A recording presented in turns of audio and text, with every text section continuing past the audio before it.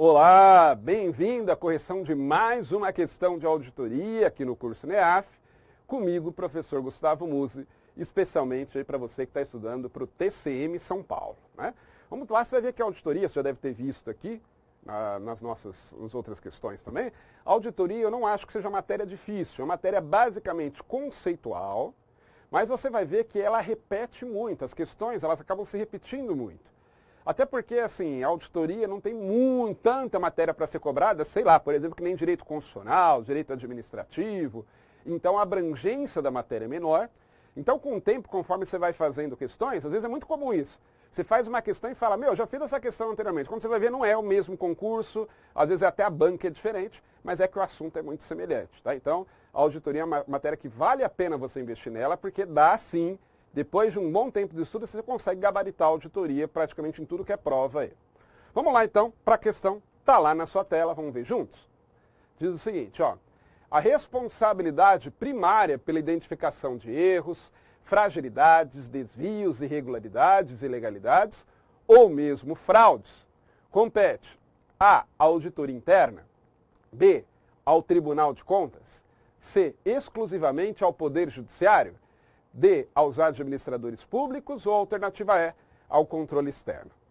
Bom, para você responder, contextualizar aí. Essa é uma questão de auditoria governamental, tá? Estão pensando aí na área pública. Qual dessas aí você marcaria? A, B, C, D ou E? Você acertou se você falou a alternativa D de dado, de fato, né? É, vamos lá.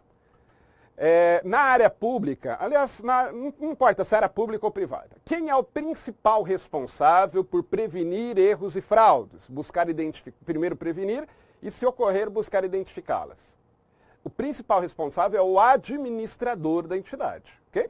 E se é uma entidade pública, eu dei a dica para você, que é a auditoria governamental, né? Quem vai ser responsável por isso é o administrador público. É ele que é o principal responsável pela identificação. A responsabilidade primária quer dizer o principal responsável pela identificação de erros, fragilidades, desvios, irregularidades, ilegalidades e fraudes, ok? Vamos ver as demais, que tem algumas aí que poderia surgir dúvida, né? A. Auditoria interna. Não. A auditoria interna, a gente tem que entender que ela é subordinada à administração da entidade. Então, é a administração da entidade que é responsável pela auditoria interna. Inclusive, verificando se ela está devidamente estruturada, verificando se ela está cumprindo ou não com as suas obrigações, tá certo? Se ela precisa de mais recursos. Isso quem tem que cuidar disso é a, a, os administradores da entidade.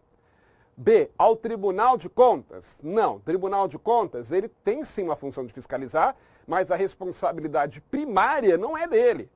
Até porque, o que eu sempre falo para você, o controle externo ele não está na entidade, ele vai lá eventualmente, uma vez por ano, de repente, talvez um pouco mais, um pouco menos. Então, é importante que a, a entidade, a administração da entidade que esteja atenta. Não é responsa responsabilidade primária, não é do controle externo, assim como na auditoria das empresas, privadas, a responsabilidade primária pela identificação de erros e fraudes não é do auditor independente, é da administração da entidade. C, exclusivamente ao Poder Judiciário? Nada a ver, né? Dispensa comentários. E a alternativa é ao controle externo? Não. Da mesma forma que a B, pela mesma razão que a B, a alternativa E também está errada, também está incorreta. Então, realmente correta é a alternativa D, essa que deveria ter sido assinalada, ok? Muito bem. Espero ter ajudado você a entender um pouquinho mais aí sobre a auditoria. Vamos ficando por aqui. Bons estudos e até a próxima.